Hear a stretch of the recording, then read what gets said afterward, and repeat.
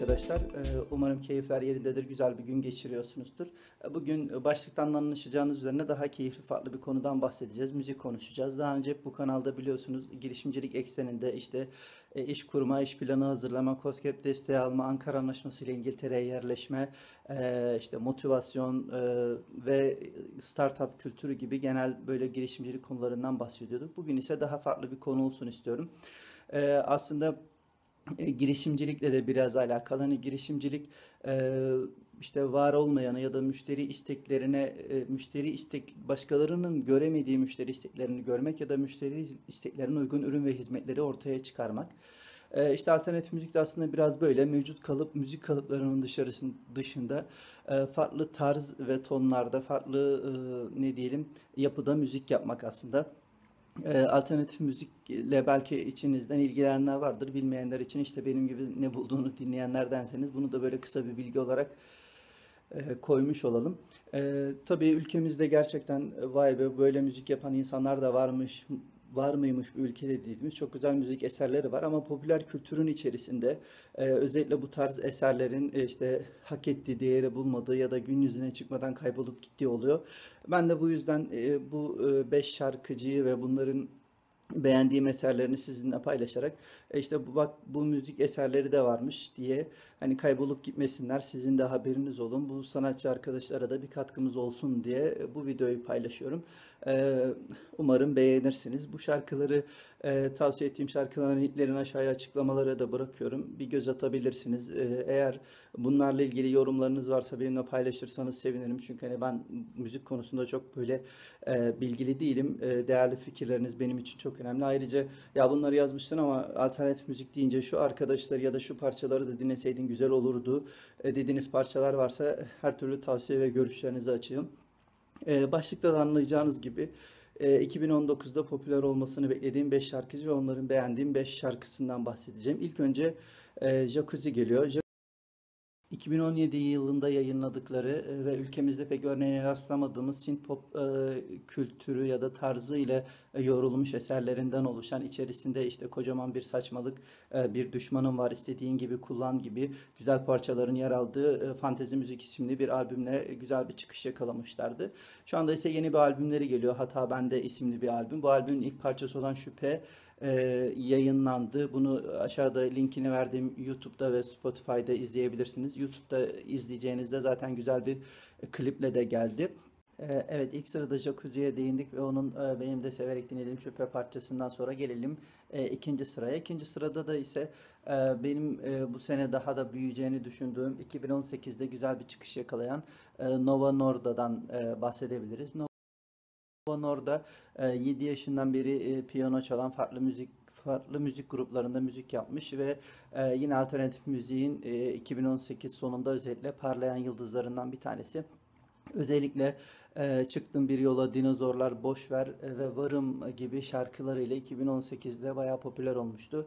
benim de özellikle Varım şarkısını çok seviyorum. Sözleri de e, çok mantıklı. İşte sen kimsin dedi. Bilmem dedim. Her gün değişiyorum. E, kimsin sen deseler bana sadece sadece varım derim gibi çok güzel böyle e, ne diyelim insana ilham veren e, işte kendine güvenini arttıran ve motivasyon sağlayan sözleri var. Müzik de güzel ses de güzel.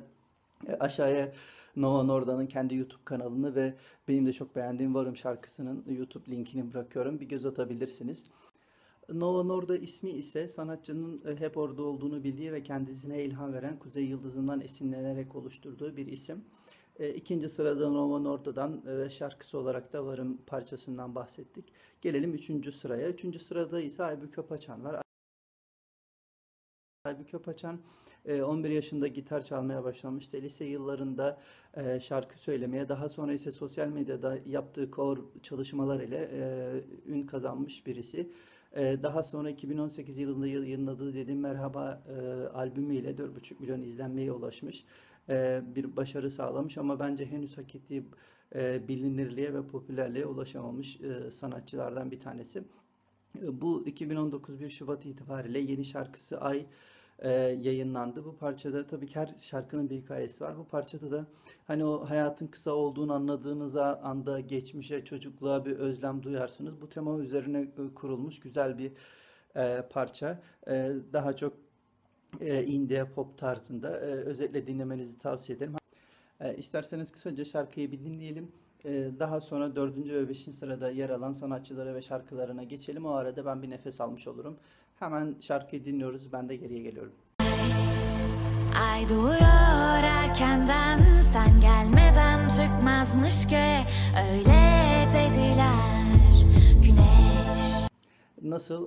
Ay parçası da böyleydi. E, Üçüncü sırada e, benim de çok bu ara dilime pelesenk olan Ay parçasından ve e, sanatçı Aybüke Paçan'dan bahsettik. Dördüncü sıraya gelelim. Dördüncü sırada ise e, Selin Sümbültepe'den bahsedebiliriz. Selin Sümbültepe, Gece Çiçeği, Jacqueline Ne Dersin, Cinaslı Kafiye, Kafiye gibi e, güzel şarkıların yer aldığı Cızgan albümü ile e, çıkış yapıla- yakalamış bir arkadaşımız. E, aslen klasik müzik eğitimi almış e, bir arkadaşımız. Ekşi Sözlük'te hatta kendisi için şöyle söylüyorlar. E, işte duru sesli hayalci minik kıvırcık diye bahsediyorlar. E, tabii bir zamanlar biz de kıvırcıktık ama saç kalmadı şimdi. Neyse bu konuyu yine değiniriz başka bir videoda. E, bu arkadaşımızın özellikle Cızgan albümündeki Cinaslı Kafiye e, benim de çok e, severek dinlediğim e, güzel bir parça. Belki e, bilmiyorum daha önce Sofar Sounds takip ediyor musunuz? Takip etmenizi öneririm. E, orada da e, Rubato gibi e, güzel e, coverlar, işte e, düetler, parçalar paylaşılıyor. E, oradan belki e, Selin Sümbültepe'yi bilenleriniz vardır. E, bilmeyenler için bu Cinaslı Kafiye şarkısının ve kendisinin YouTube kanalının linkini aşağıda yine paylaşıyorum. E, duru sesiyle yani su gibi akıp giden ve insanı e, geçmişe götüren güzel bir sesi var. Özellikle Cinaslı Kafiye'yi dinlemenizi, tabii diğer şarkıları da göz atmanızı e, tavsiye ederim. E, gelelim 5. sıraya. 5. sırada ise e, Yiğit Seferoğlu var. E, Yiğit Seferoğlu, Haybin Kunduz ve Forceox gruplarının e, solisti. Aynı zamanda bireysel müzik de yapıyor. Ek Sözlük'te kendisi için kısaca müzik delisi e, olarak e, bahsediliyor. E, daha önce Karabesk, Adem Histora gibi e, albümleri var. Belki Sofar'da Yaktım Bütün Dünyayı e, isimli e, çalışmasını e, dinlemiş olabilirsiniz. Ben de Karabesk albümündeki Dünya Başına Yıkılsın e, parçasını severek dinliyorum. O parçanın linkini de aşağıya bırakırım. Kısaca bugün Jacuzzi, Nova Norda, Aybüke Poçan, e, Selin Sümbültepe ve Yiğit Seferoğlu'ndan bahsettik ve onların sevdiğim şarkılarından bahsettim. Videonun sonunda en çok bu ara en çok dilime pelesenk olan ve en çok dinlediğim Ay şarkısının e, video linkini de koyacağım. E, o şarkıya da bir göz atabilirsiniz. E, dinlediğiniz, ilgilendiğiniz için teşekkürler. Sizin de alternatif müzikle ilgili önerilerinizi, görüş ve düşüncelerinizi merak ediyorum. Aşağıya paylaşırsanız e, bize de yol gösterici, ilham verici olacaktır. E, kendinize iyi bakın, mutlu kalın, sağlıcakla kalın. Bu videoyu beğenmeyi ve kanalıma abone olmayı unutmayın. Kendinize dikkat edin. Bay bay.